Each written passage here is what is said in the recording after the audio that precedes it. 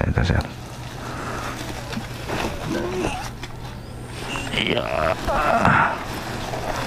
Ayun. Ayos. Oo, okay na. Sige. Mapagpalang araw po sa ating lahat mga kuya at ate ng kalsada. Ngayon, panibagong araw, panibagong biyahe na po tayo ngayon. Ngayon ay magbabiyahe po tayo ngayon ng uh, Lalamove. Ayun, uh, may pick up po tayo dito sa may Pulong Kindi Road sa may uh, Tagig. Ang pipikapin po pala natin ay isang sakong uh, asin. Bali 50 kilos. So, bali i-deliver ko po ito sa may ano, pinalad sa may nagpayong Pasig. So, malapit lang yung ano, deliveran. Kaso 50 kilos na asin.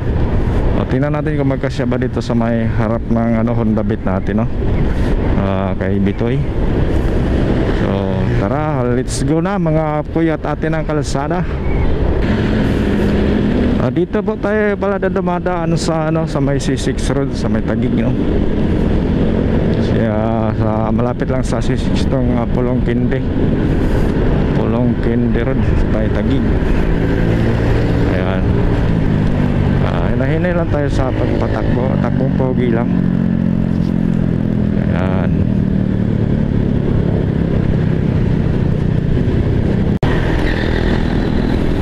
So yun, uh, kakanan na po tayo dito no sa may papuntang Pulong Kindi. Ayan. Kakanan tayo dito.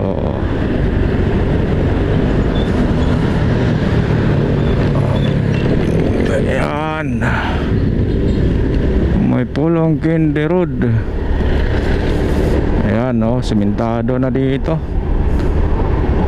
Nung nakaraan na uh, last year ano pati dito lubak-lubak matubig pero ngayon okay na. Makinis na. Ayan. Gusto ko rin dito mag pick up kasi mabilis lang yung ano biyahe walang traffic dito sa may C6 ka dumaan. Ayan. Walang ka traffic traffic dito. Ayan kakaliwa nata dito sa may Pulong Kindi Road. Ayan ito Pulong Kindi Road.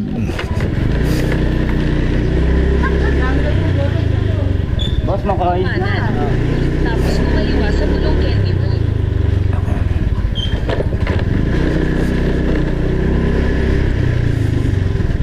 Pulong Kindi Road bakit kaya tinatawag na Pulong Kindi Road siguro daming kindi dito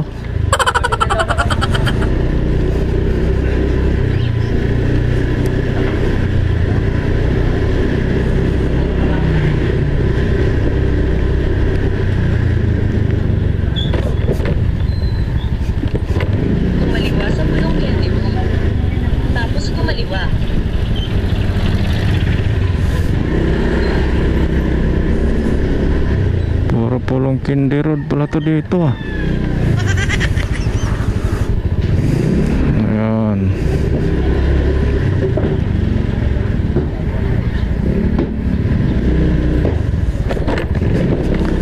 puro Pulong Kindi Road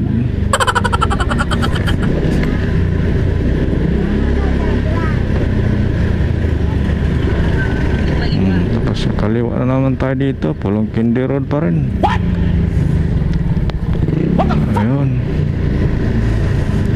kaya dito? Nakarating ka na sa iyong destinasyon. Dito na tayo. Tawagan muna natin siya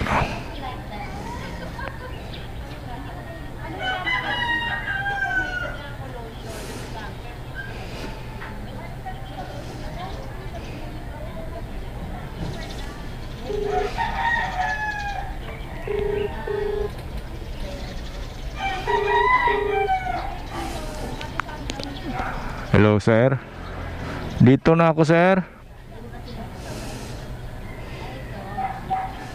Ay sir good morning Bakit natin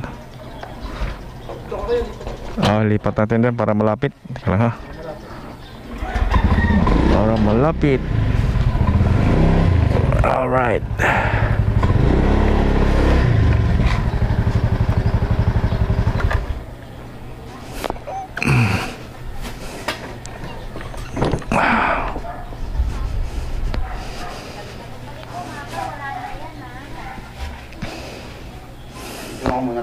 Ah, sige sir.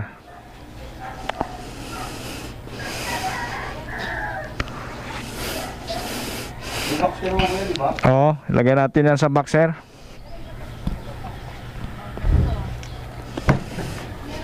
Yung ano nga, huli nga. Balak. Dito sa box mo yung sako eh. Ay, yung uling. Bala ko kasi tanggalin eh kasi sabi ko baka di magkasya dito sa harap. Ah.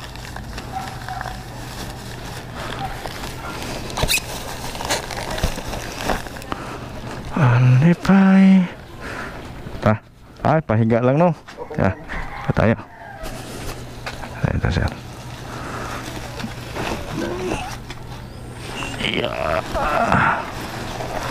Ayun. Ayos. Oo, okay na. Sige. Picturean din natin. Oh, lapit lang to. Yes, sir. Doon bayad. Ah, doon na lang pambayad. Tama naman tong drop off, sir, no? Pinalad. Auto. Oo. 16 auto. Si Sir Ryan, lagi kumukuha sa akin yun. Ah, okay. Balik ka ulit si C6. Oo, balik ulit ako doon. yeah, salamat, sir. Oo. malapit man lang eh, walang traffic. Buti di ka duman dito. Hindi. Malubak ano? Oo. Oo. Sige, sir. Sige, ingat ha. Thank you, thank you. Alright.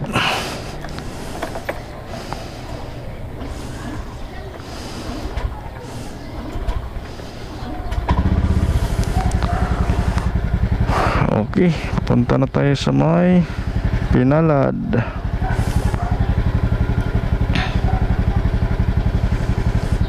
Na tayo sa drop up. Bali, text pa natin.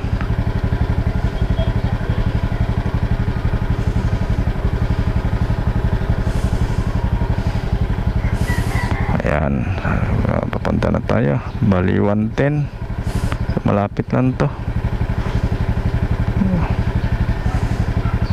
Pinalad.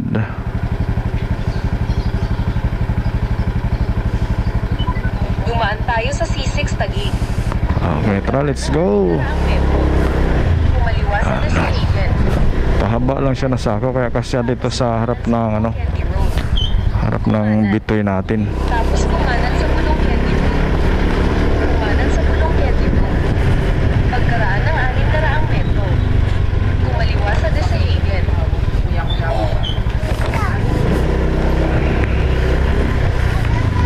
Pulong Kindi Road.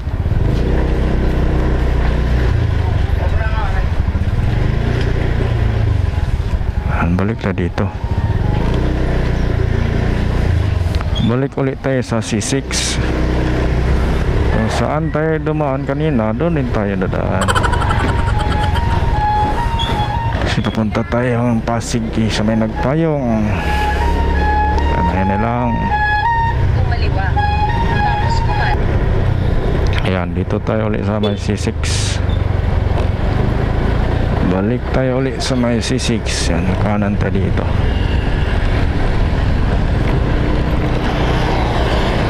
U-turn tayo doon sa unahan.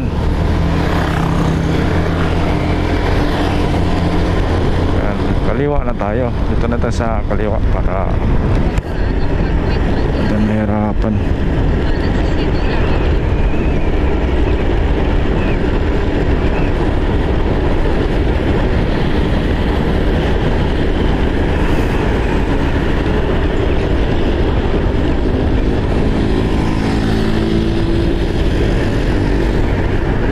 Ah, na dito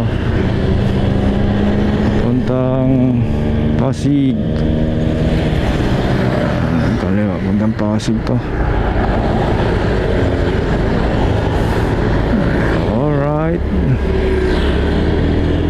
sa may low lane, slow lane banda. Pagkaraan ng 2.8 kilometro. Kumaliwa.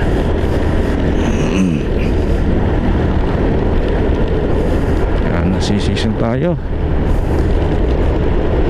Bound to uh, Nagpayong Pasig.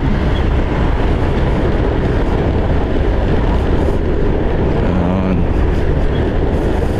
Ah, Dito tayo sa mga ano, Laguna Lake. Yan.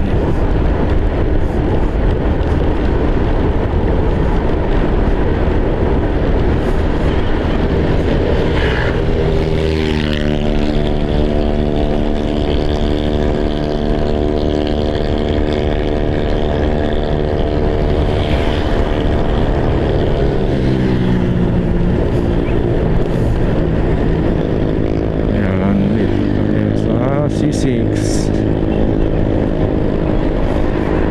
C6 Taguig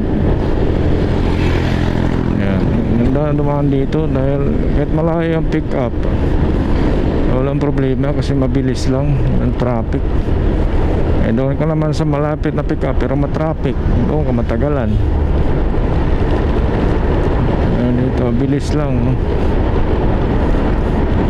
Yan, nagka ano na agad tayo sa drop off deliver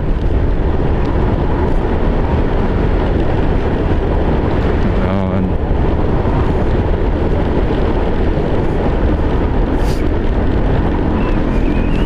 mga 3 kilometers na lang 3 kilometers away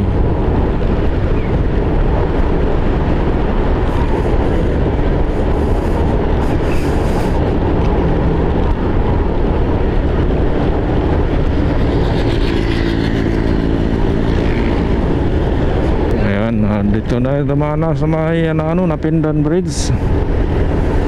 Boundary ng Taguig at ah, Pasig. Ayan. Oh, tuloy-tuloy lang yung takbo natin eh. Ayun. So kakanan tayo dito sa may ano, pagbaba ng tulay para shortcut tayo doon sa may pinalad. Ayan. So nahina lang tayo sa pagpaliko dito no. Ayan, oh, ilog na, Pasig River. Hmm, ganun ang kabilis pag sa C6 ka dumaan, oh, bilis lang yung biyahe.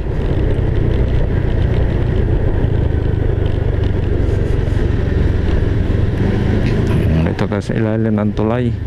Pagkaraan ng Ayan. 1.4 kilometro.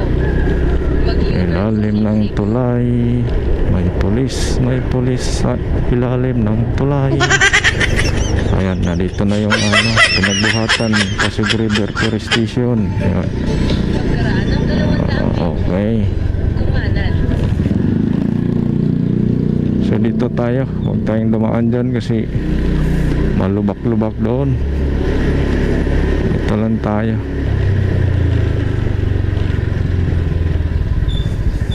Ayan. 100 metro. Kumanan. Malubak doon. Medyo shortcut sana doon Kaso malubak. Dito na lang tayo. Maganda pa yung kalsada dito. Ito paano Ayan.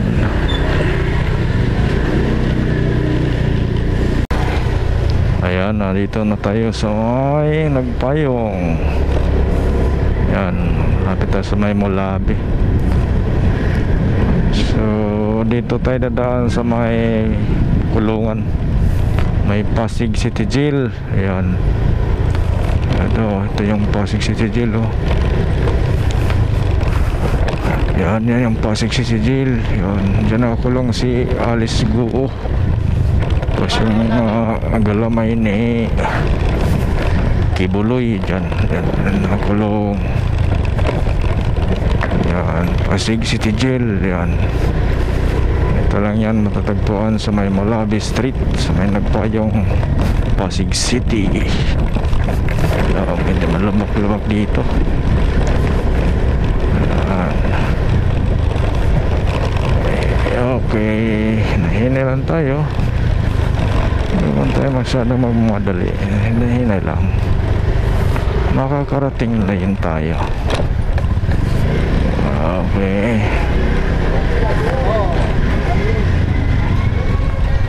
Okay. Kumanan. Ayan.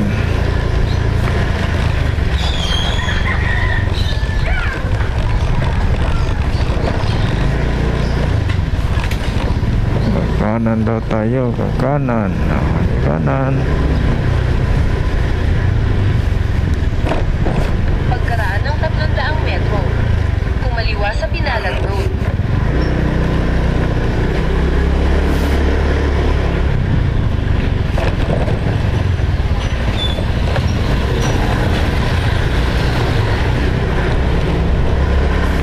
Dito tayo sa may Centennial 2. Alright, nahina lang. Makasasayad yung makina natin sa humps.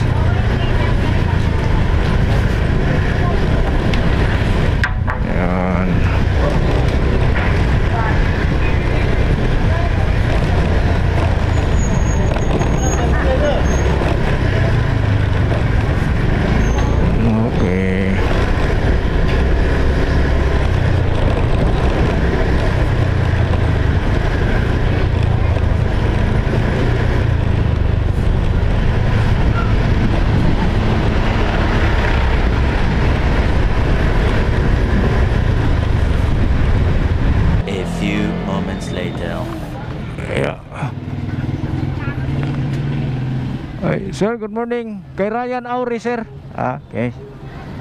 Ito na pala. Mabigat ano sir? Bigat, 50 kilos. Mayroon pang ano dito? Na plastic. Alright.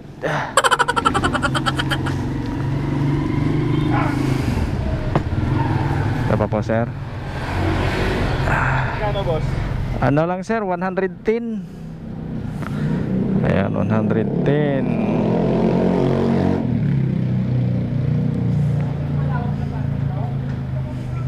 Unang signal Eh, salamat sir Picturean ko lang, walang signal Okay na? Oo Bakit ko talaga binibigay ko pag may asin? Oh, thank you sir ah. thank you, thank you very much. Okay.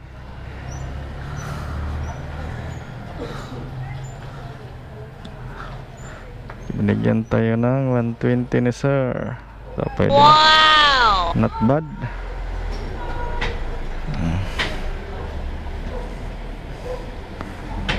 Okay, hanap naman tayo ulit ng ibang booking. Okay. Yes, so maraming salamat po. Thank you for watching. This is Big Beast TV. Peace out.